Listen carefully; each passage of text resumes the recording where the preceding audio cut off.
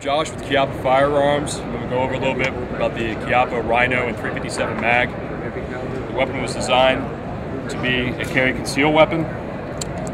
It's uh, it's innovative because it's firing from the six o'clock position of the of the cylinder instead of the 12.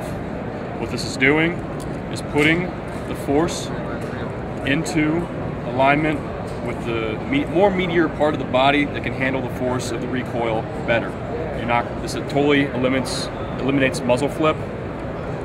And what you're going to have in 357 mag is a, a drastically decreased felt recoil.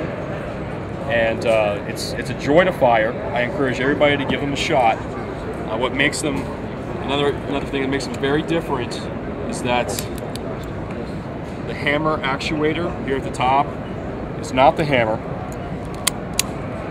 It will go back forward after pulling into single action and you can decock it just like a standard revolver. But when firing in double action, the hammer actuator will not move. It was designed to be a carry conceal weapon. It will not snag on the coat pocket or the interior of the purse. Because of the reduction in muzzle flip and felt recoil, um, target shooters are very interested in them. So we're designing models that are larger for the target shooting uh, uh, customers. Uh, we have three different stage kits for the weapon.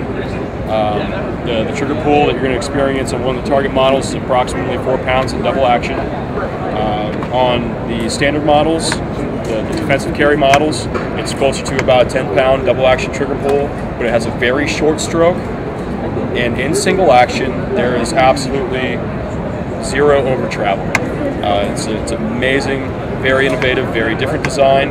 It's incredibly comfortable to carry as a carry concealed weapon because of the, the, the flat sides of the cylinder.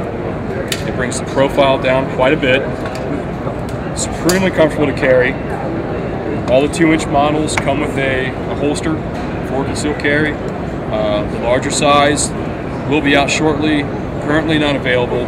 The, the two inches have been on the market for approximately six to seven months. Um, they're joy to shoot. I, I encourage anybody who's recoil sensitive has had issues with 357 mags in the past. Try them out and see what they have to think.